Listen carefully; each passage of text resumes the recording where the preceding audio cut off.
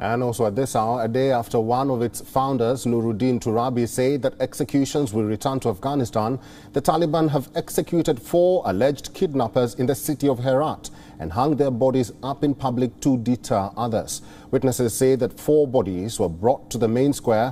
One of them was hung from a crane, while the other three bodies were moved to other parts of the city for public display.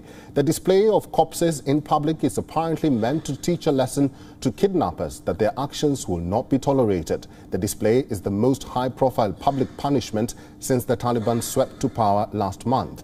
This is the third such incident of public executions since the Taliban returned to power. On the 31st of July, the extremists hanged two alleged child kidnappers.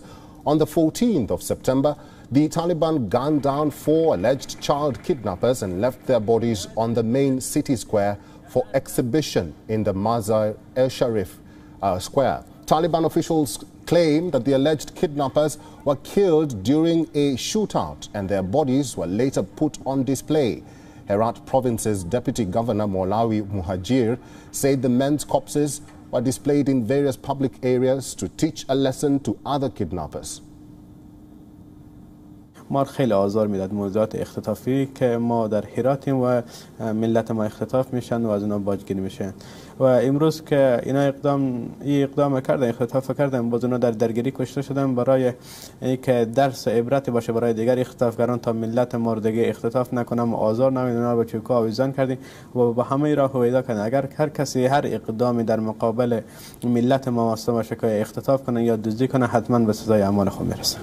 The incident comes days after one of the Taliban's founders, Mullah Nuruddin Turabi, said the group will once again carry out executions and amputations of hands, though perhaps not in public. Since the Taliban overran Kabul on the 15th of August and seized control of the country, Afghans and the world have been watching to see whether they will recreate their harsh rule of the late 1990s.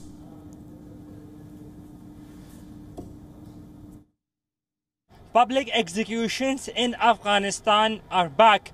Uh, at least one alleged child kidnapper was hanged publicly at uh, Herat's Azadi Chowk by the Taliban. Uh, the Taliban claim that they have recovered the children kidnapped by him uh, from Kabul and after that uh, he was hanged. Uh, they claim, they also claim that he was a habitual offender and he was not a first timer. This is the third such incident. On the 31st of July, we first saw the Taliban hanging publicly two men in Girishk. They were also said to be uh, child kidnappers. Then about uh, uh, two weeks back, we saw the Taliban gunning down four alleged child kidnappers. Uh, they said that they were also the members of ISK, and now today this incident in Herat. Uh, child kidnapping, uh, as per Sigar's report, is uh, uh, one of the most lucrative uh, businesses here because they end up selling children. A, B, the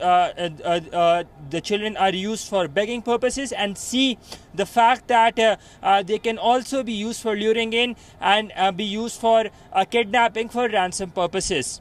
Anas Mallick in Kabul, Afghanistan for WION World is One.